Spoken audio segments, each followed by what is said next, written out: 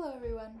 In today's video I'm going to show you how I go about drawing a fairly detailed charcoal drawing.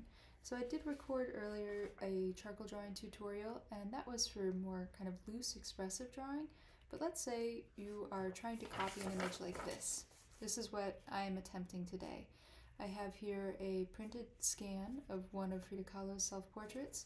I used a grid method to transfer this image onto here and so I lightly sketched out the image first with mechanical pencil, and I sketched out all of the big shapes. So although it's kind of faint, I've got all of that info on there, and now I want to darken it using charcoal, but I don't want to lose all of my pencil detail, although eventually I don't want any of the pencil to be visible. So um, I have a couple of tricks that I use in order to go about something like this. The materials that I'm going to be using are uh, compressed charcoal, vine charcoal, charcoal pencils, and various ways of smudging charcoal. I have, this is a little piece of leather or cloth, works the same. Q-tips are also a big favorite of mine. And of course, erasers. And the only two erasers I'm really going to use are a kneaded eraser and a white eraser. What I also have set up is a scrap piece of paper.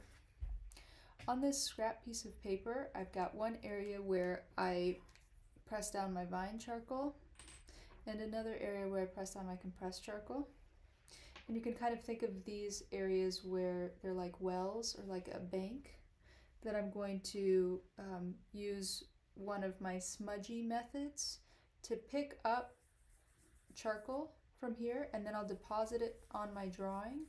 So I'll be using the charcoal dust with some kind of smudging tool as a way of actually drawing value onto there.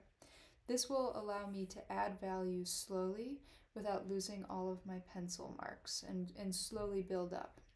So in this example here, I spent some time in class just laying out some of the basic areas of value. So looking at this one here, I just took primarily my dirty cloth and I didn't, it's so dirty that I didn't even need to add charcoal onto it. I just smudged it onto there. Started to lay out some basic values and I also used, so far I've just been using the soft charcoal pencil to reinforce some of my um, pencil underdrawing so that I don't lose that info. So I probably spent, um, it took me maybe two hours to transfer the, the pencil drawing, to set up the grids and transfer the pencil drawing. And I've spent maybe about 45 minutes adding charcoal. So today I'm going to focus in on some more complex areas and um, just see how far I get. And uh, so I'm going to, right now I'm going to hop into that and uh, what you'll see next is a sped up version of me working on some of the more challenging spots. You'll be able to watch the way that I'm working to build up value, and I hope it can give you some insight into how to um, draw with a high level of detail with charcoal, even though it's such a messy medium. I love it because it'll give you a range of value that you can't get almost any other way. So I hope this helps.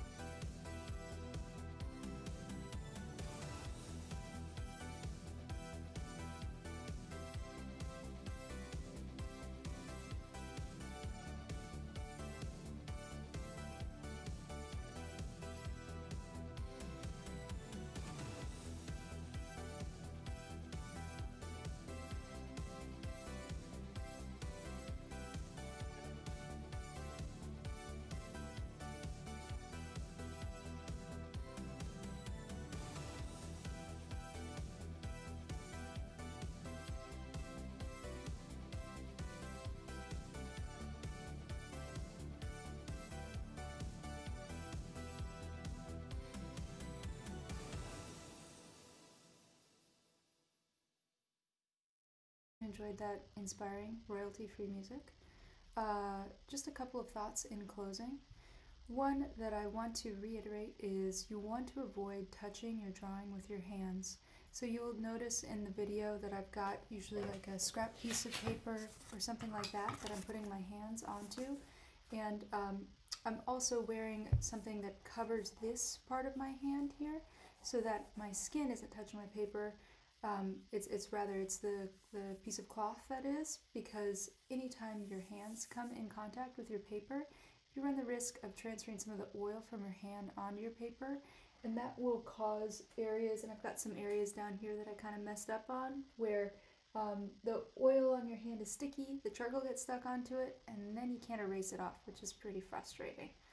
Uh, so I just wanted to be sure that you don't run into that problem.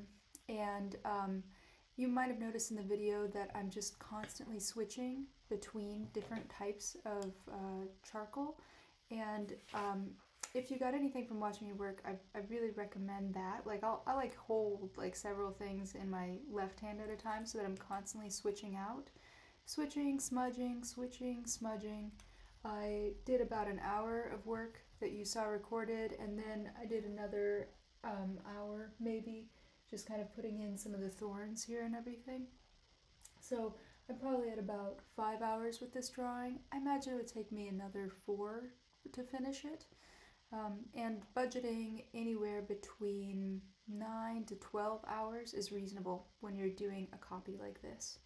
One final thing that I want to mention is as I'm building up the areas of dark value, so like the super black um, in the animals and in her hair, I'm uh, meeting with some resistance from the paper. I am using just a regular paper, the same kind that I asked you to buy in your supply list.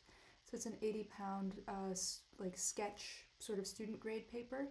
Because it's, it's pretty smooth surface, it doesn't really have that much texture, so it doesn't want to hold on to the charcoal.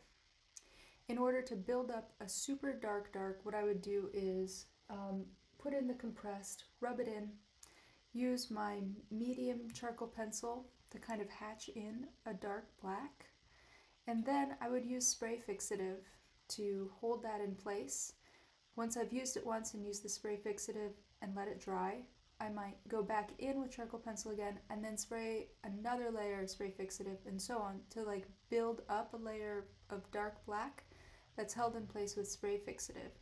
So if you're getting frustrated like, oh my god, I can't bring bring this like super dark black like to a, to a rich place, um, know that it's not you. It, it might just be your paper and you can work with the spray fixative to fix that.